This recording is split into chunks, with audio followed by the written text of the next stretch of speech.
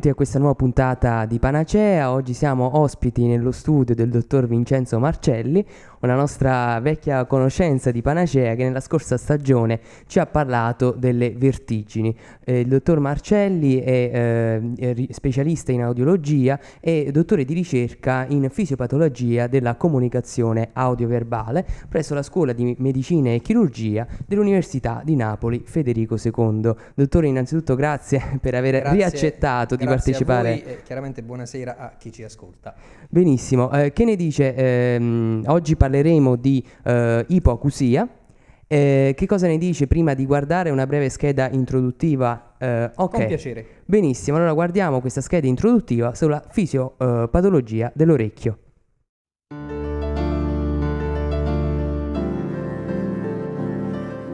L'orecchio è l'organo preposto alla funzione uditiva e al controllo dell'equilibrio. Nell'uomo il campo di udibilità va dai 20 ai 20.000 Hz il limite inferiore potrebbe essere associato al rumore che fa un tuono o l'aria condizionata, mentre la capacità di percepire suoni al di sopra dei 16.000 Hz si abbassa con l'invecchiamento, tant'è che il limite di 20.000 Hz è di solito percepito solo da giovani sotto i 20 anni. L'aria della parola è in un'area di frequenze quasi sempre conservata nonostante l'età, tra i 100 e i 1000 Hz. Questo fa sì che l'organismo riesca a difendere dal tempo e dalle malattie quanto più possibile la funzione della comunicazione. La maggior maggior parte degli animali hanno una capacità di udito diversa dall'uomo, riuscendo a percepire anche onde sonore di frequenza superiore, come nel caso dei cani, dei gatti o dei pipistrelli. L'orecchio umano è composto da tre parti: orecchio esterno, che comprende il padiglione auricolare, quello comunemente chiamato orecchio. La particolare forma del padiglione auricolare permette di stabilire la provenienza del suono, captare le onde ed indirizzarle nel condotto uditivo. I suoni vengono poi tradotti in vibrazioni e trasmessi all'orecchio medio. Nell'orecchio medio si trova il timpano, la parte principale dell'orecchio, insieme ai tre più piccoli ossicini del corpo umano, martello, incudine e staffa. I loro movimenti sono provocati dal timpano e amplificati 20 volte, trasferendo così tutti i suoni dell'esterno all'orecchio interno. Nell'orecchio interno avviene il processo di conversione delle onde sonore in impulsi elettrici grazie alle cellule cigliate situate nella struttura detta chiocciola o coclea, da dove vengono trasmessi al cervello determinando la sensazione uditiva.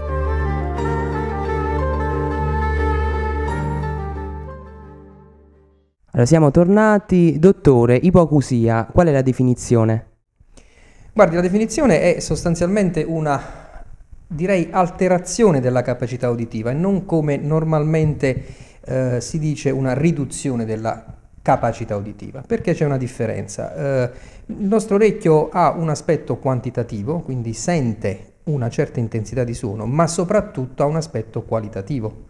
Per cui io posso trovarmi di fronte ad un paziente che ha una riduzione quantitativa di udito, della capacità uditiva, che non ha riscontro in una grave alterazione della qualità uditiva. Il problema è che può succedere esattamente il contrario, cioè posso trovarmi di fronte ad un soggetto che ha una riduzione quantitativamente poco significativa, ma una alterazione qualitativa molto importante. Quindi la definizione io ritengo più corretta sia quella di una alterazione della capacità uditiva che può essere di tipo quantitativo, ma purtroppo spesso è di tipo qualitativo. E qual è la prevalenza di questa alterazione nella popolazione? Beh, la prevalenza è notevole perché parliamo in media di qualcosa eh, in più del 5% della popolazione mondiale.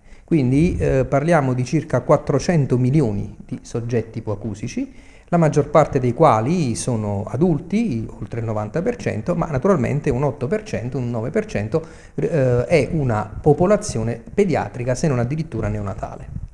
Esistono diversi tipi di ipoacusie. Eh, dottore, si può fare una classificazione?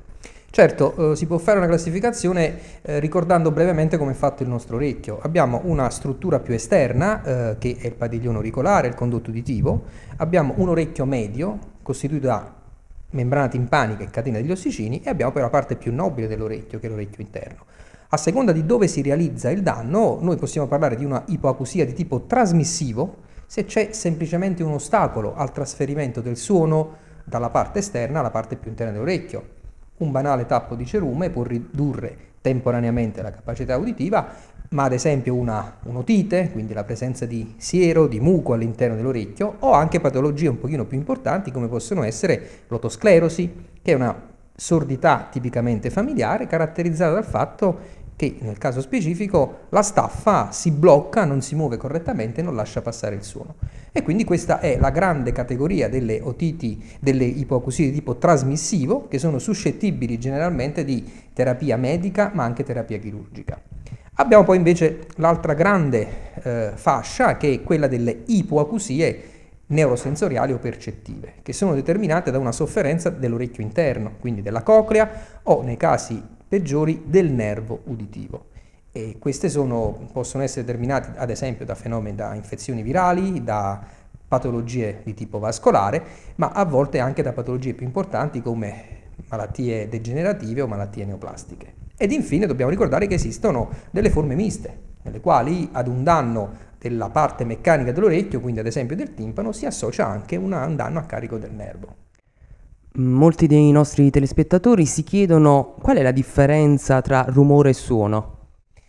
Guardi, c'è una differenza sia fisica eh, ma soprattutto psicoacustica. Eh, per rumore noi dobbiamo intendere una, um, una fonte eh, che non ha delle caratteristiche armoniche precise.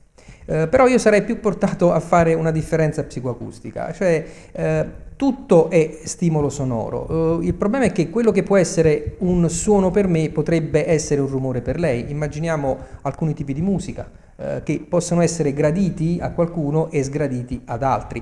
Il meccanismo è sempre lo stesso, l'orecchio viene stimolato, il segnale sonoro arriva al cervello. Quello che cambia è eh, la qualità e, e, soprattutto la nostra reazione emotiva al suono. Il rumore è sicuramente qualcosa che genera una reazione sgradita nei confronti del suono stesso, cosa che non fa il suono. Abbiamo parlato di rumore, di suono e di musica, facciamo una breve pausa per ascoltare una canzone e in seguito la commenteremo insieme al dottor Marcelli.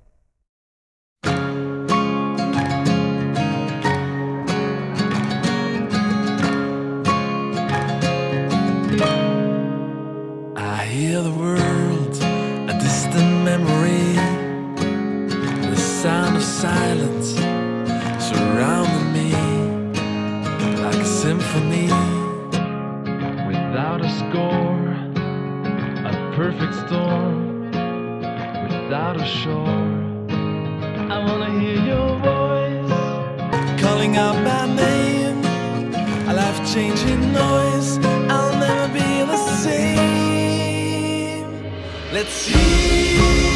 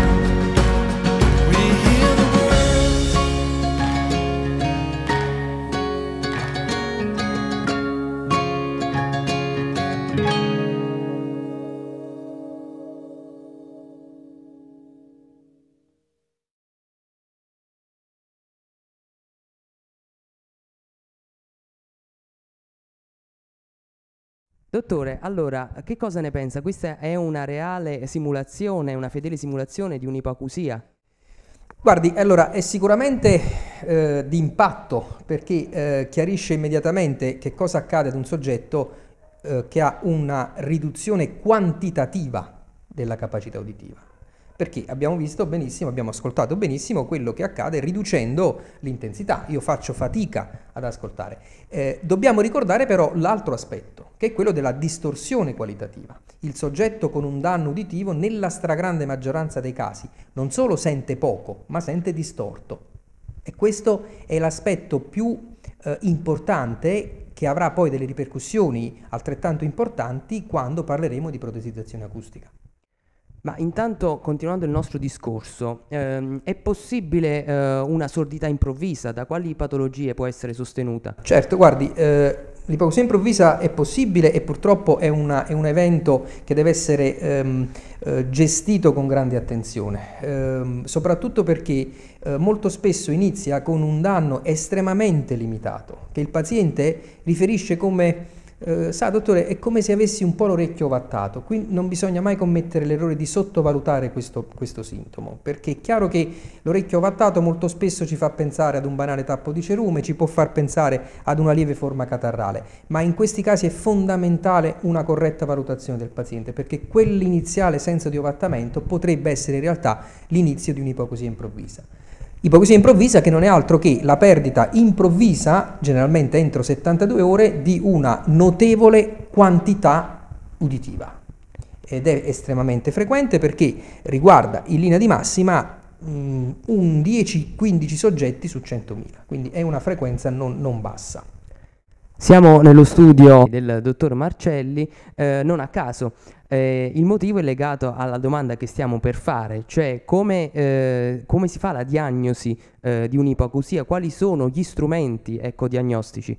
Beh, naturalmente dobbiamo fare una immediata distinzione eh, perché eh, ehm, lei capisce benissimo che se ci troviamo di fronte ad un, ad un, adulto collaborante, noi abbiamo una serie di strumenti e soprattutto abbiamo la collaborazione del paziente che ci consentirà di eseguire eh, correttamente una serie di esami. Completamente diverso è quello che può accadere nel, nel bambino piccolo, addirittura nel neonato.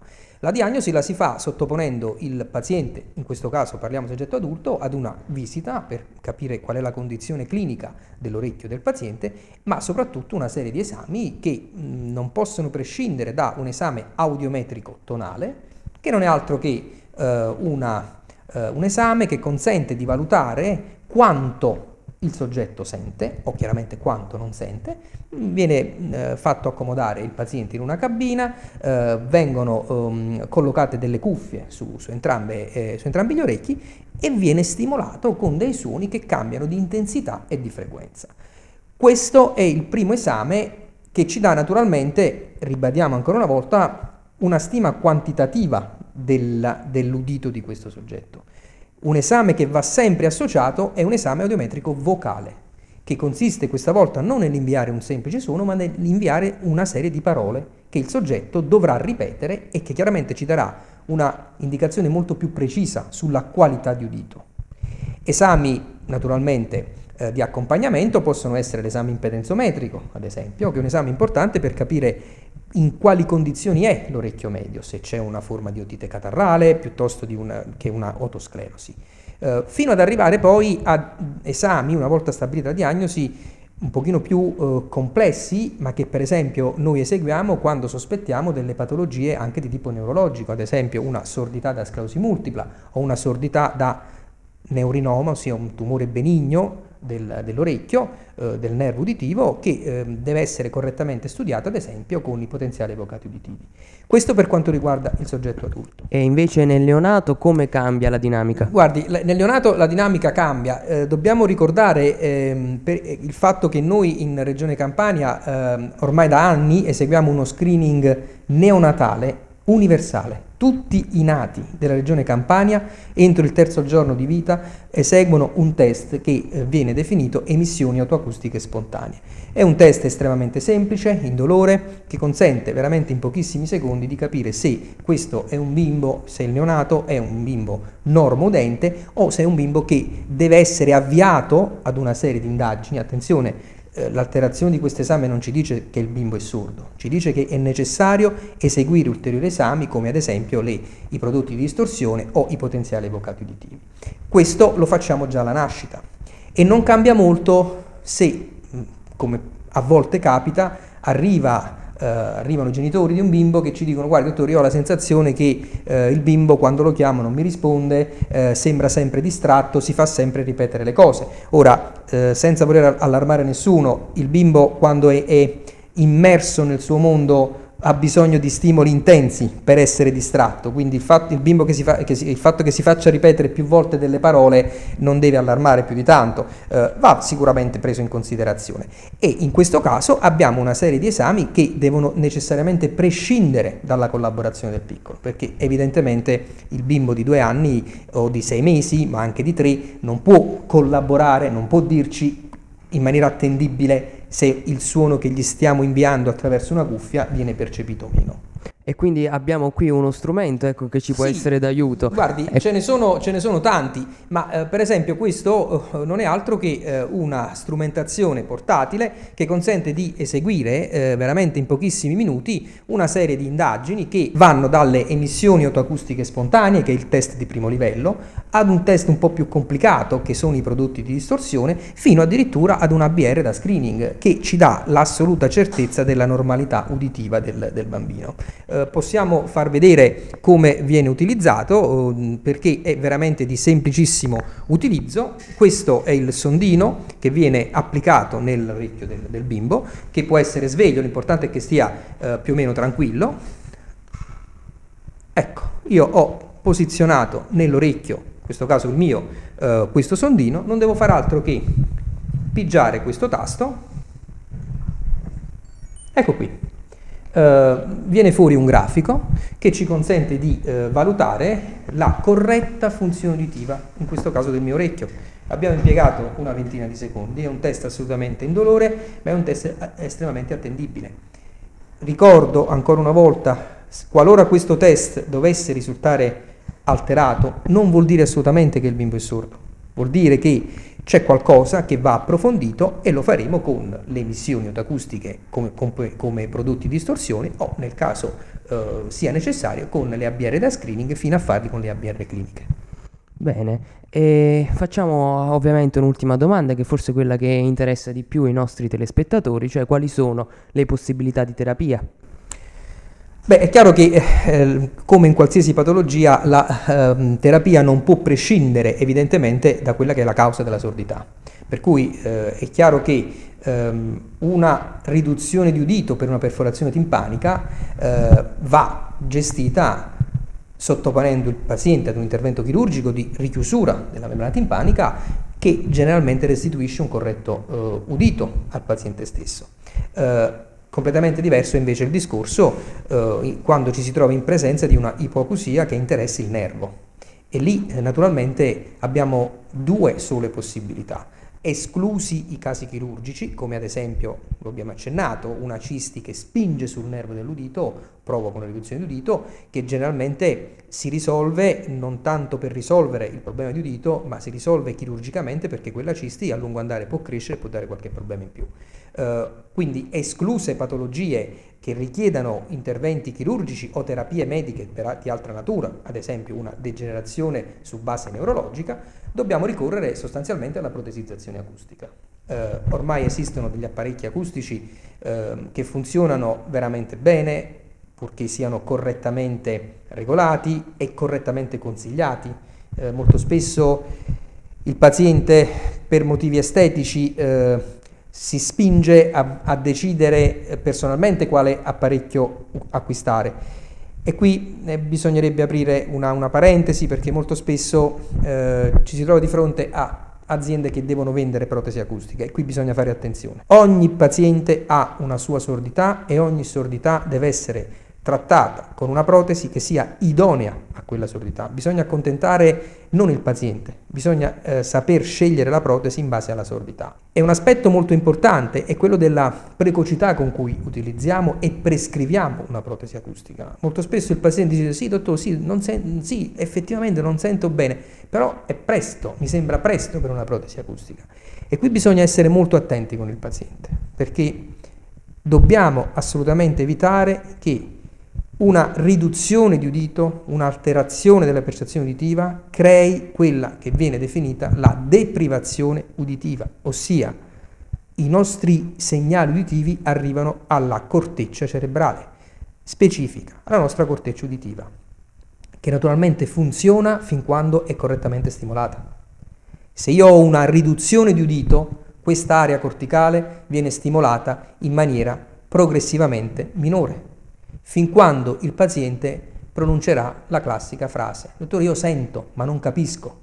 Non è solo un problema di quantità, è un problema legato al fatto che ormai la corteccia uditiva, che deve farci capire le parole, è stata stimolata negli anni progressivamente sempre meno e non riesce più a fare il suo lavoro. Quindi la protesi acustica deve essere vista non solo come lo strumento per migliorare la capacità uditiva, ma soprattutto come uno strumento preventivo perché non bisogna arrivare a livelli di alterazione qualitativa talmente alta che a quel punto la protesi acustica potrà farci sentire bene i rumori esterni, ma non riuscirà più a farci capire il segnale più importante, che è la parola.